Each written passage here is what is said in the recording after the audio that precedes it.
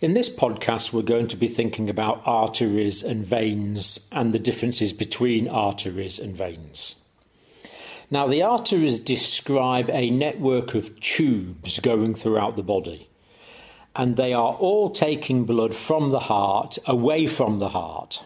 So, that is the definition of an artery. An artery or an arterial vessel is any vessel which is carrying blood away from the heart. And likewise, the veins are a complex system of tubes. And again, just like the arteries, the veins are carrying blood, but the veins carry blood towards the heart.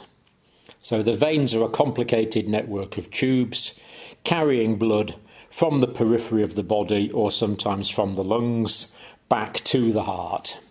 So it's very simple. Arteries carry blood away from the heart, veins carry blood towards the heart. Let's think about the structure of arteries and veins in a little more detail now and see how this structure is related to the function that they perform in the body. Now, there are quite a lot of similarities between the structures of arteries and veins. So, if we take a cross section of an artery and a cross section of a vein, we notice similarities. And one of the obvious similarities is that there are three main coats in the wall of arteries and veins. And these coats are called the tunics or the tunica. A tunic is a word for a coat. So we have three main layers. We have the tunica intima or the tunica interna, that is the inside layer. Then we have the tunica media, that is the middle layer. And then we have the tunica externa, or sometimes called the tunica adventitia, which is the external layer. But always in the middle the hole down the middle is called the lumen. And of course, the lumen is the key point of an artery or a vein because the blood flows through the lumen in the middle of these tube like vessels. Now, in the larger arteries, especially, there's some additional layers because there's two layers of elastic lamina. So, larger arteries in particular have an extra elastic lamina around about the outside of the tunica media and an extra layer of elastic lamina around the inside of the tunica media. These layers are often referred to as the internal and the external elastic lamina. And these are most prominent in the large arteries because the large arteries need to be more elastic. Now, the tunica intima or the tunica interna in both arteries and veins has a layer of vascular endothelium, so the blood going through the lumen of a blood vessel is actually in contact with these vascular endothelial cells. And this is a layer of squamous cells, each with its own separate nucleus, cytoplasm, and cell membrane, on a basement membrane. And the basement membrane itself is made up largely of collagen fibres. And this is very important to guide the process of healing. If there's an intact basement membrane, healing can often occur quite effectively. Now, the elastic lamina, as the name would suggest, are largely made up of elastic fibres, and there's actually holes in the elastic lamina to allow diffusion from the intima through to the media, and these give elasticity to the arteries. The veins don't have elastic lamina, so that's an important difference between arteries and veins. The arteries do have an elastic lamina, whereas the veins do not. Now, going from the lumen outwards, the next layer is going to be the tunica media, or the middle layer. And this is rich in elastic fibres and smooth muscle fibres as well. And it's important that there are smooth muscle fibres in the walls of arteries and veins because these can allow for vasoconstriction and vasodilation. And this effect is most commonly associated with the arterial system, where the arteries can dilate, making the lumen wider, or where the medial wall of the artery can constrict, making the artery more narrow, reducing the cross section of the lumen. The externa around the outside is made up of elastic and collagen fibres, and this is important to anchor the vein or the artery to the adjacent tissues because we don't want them moving around and we don't want them getting kinked. And the tunica externa or the tunica adventitia, it's just two names for the same thing. Especially in the larger arteries, there's going to be nerves and small blood vessels in the wall because the wall of the artery itself in the larger vessels needs a blood supply. Now, the large arteries, such as the aorta or the carotid arteries going up to the brain, have a well differentiated elastic lamina. And what happens here is when the left ventricle contracts, the blood is going to be ejected into these large arteries. That's going to increase the pressure in these large arteries, and as a result, the walls are going to expand out the way to accommodate the increased volume of blood which has just been ejected from the ventricle. But then the ventricle is going to relax, and during that time, we want the arterial blood flow to continue. So during that time, the elastic arterial walls, especially in these large arteries, will constrict down again, reducing the lumen, increasing the pressure of the blood in those arterial systems.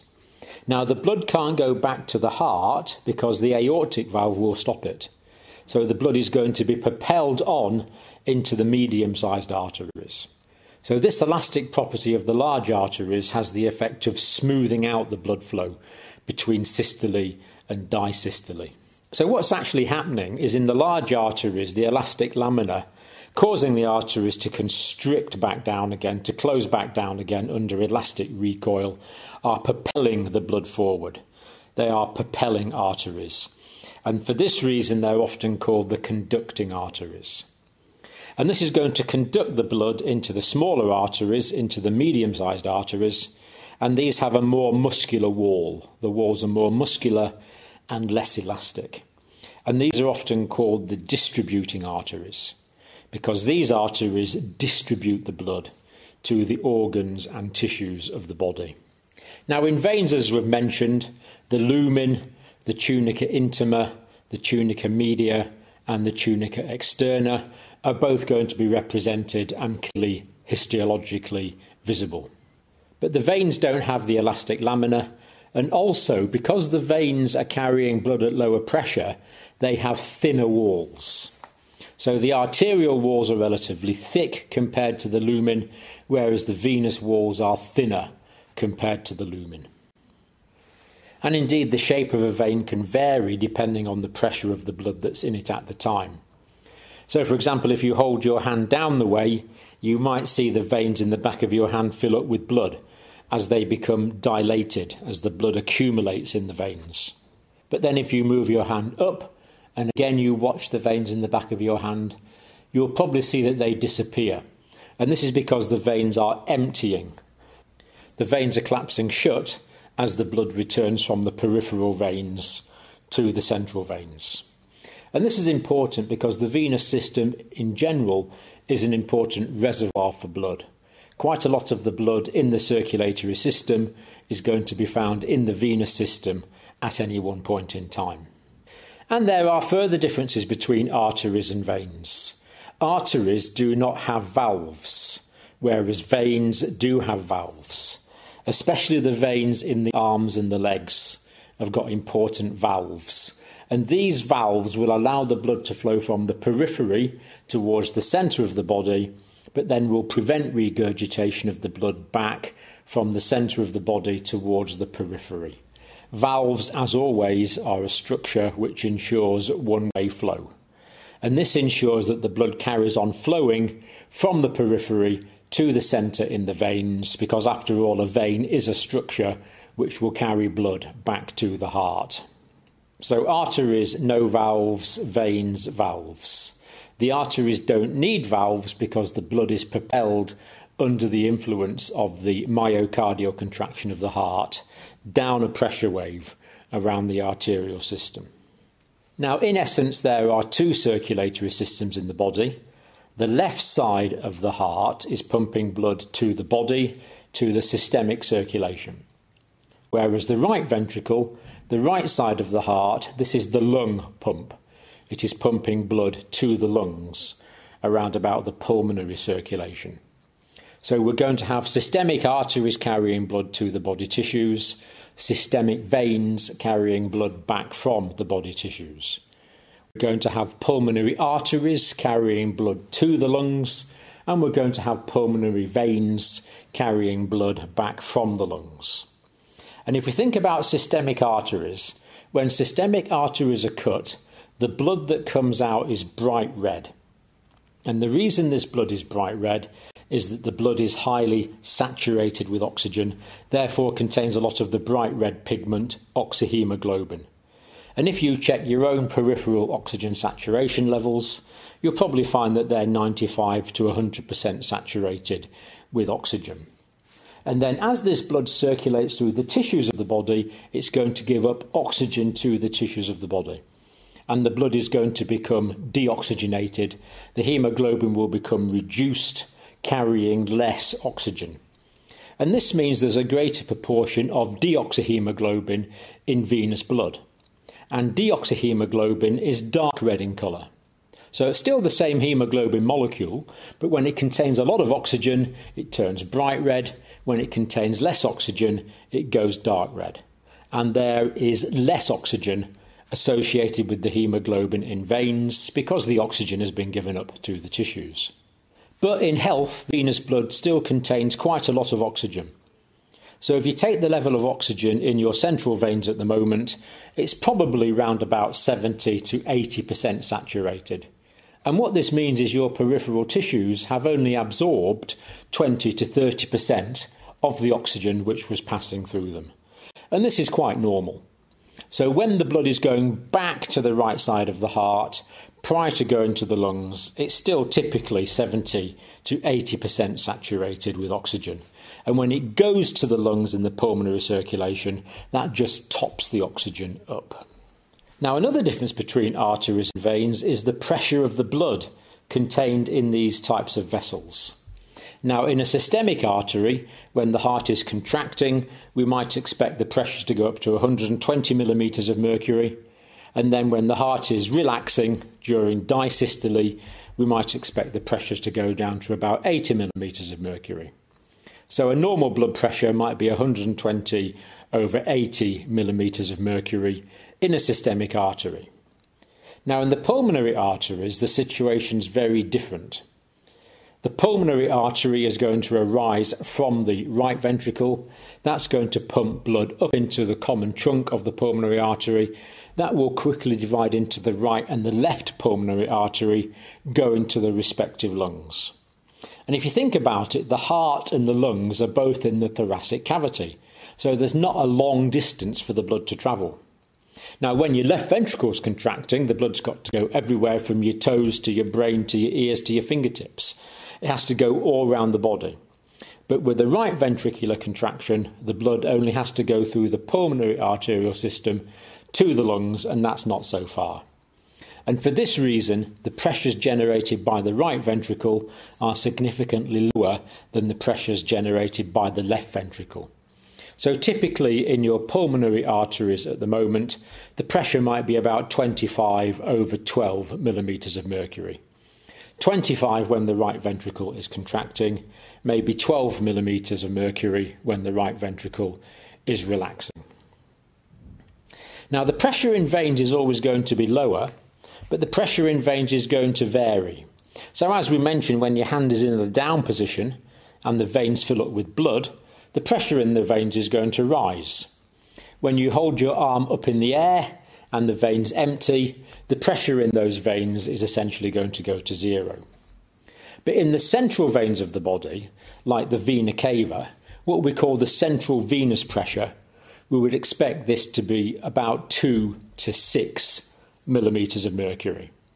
So, in your central veins at the moment, in your vena cava, just before that blood is going to drain back into the right atrium, the pressure might be between 2 and 6 millimeters of mercury. So, as we can see, the pressure in veins is going to be significantly lower than the pressure in arteries. And this has many important clinical implications. And an obvious one is as a result of an injury if the tissues are cut. So if you cut through an artery, the blood will come out in spurts. You'll get spurts of bright red blood.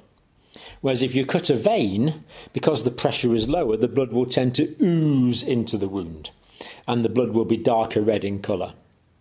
Now, having said that, if you cut an artery, you will get a reflex vasoconstriction of the artery and the pulsation will reduce very quickly, even just after one or two spurts of blood, because of the arterial reflex vasoconstriction. And this is very important because it will reduce the amount of blood loss hemorrhage. And sometimes when you look in a wound, you can see areas of bright red blood and areas of dark red blood corresponding to areas of arterial bleeding and areas of venous bleeding. But of course, if significant sized veins are cut, large amounts of blood can ooze out, still causing life threatening hemorrhage. So it's not really that one is more serious than the other, but they have these different characteristics bright red spurting as opposed to dark red oozing of blood. And if you're ever in a situation where you're examining a blood vessel and you're not sure whether it's an artery or a vein, it's very simple. There's a sure and trusted way to tell the difference between an artery and a vein. And I'm sure you can think of this straight away. When you palpate the vessel with your fingers, the artery will pulsate, whereas in the vein, there is no pulsation. And clinically, again, this is massively useful because it means we can palpate arteries to take the patient's pulse in different parts of the body. So you probably already learned to palpate the radial artery, the carotid artery, the femoral artery, and the brachial artery. These are arteries we use all the time in clinical practice to assess the pulse. We are feeling the pulses of blood as they flow through the arterial system. But in the veins, we don't have a similar source of heart originating pulsation. The venous return to the heart is conducted via different mechanisms. So that was just a short podcast on arteries and veins, starting to think about the differences between arteries and veins and some of the clinical significance of us possessing this important knowledge.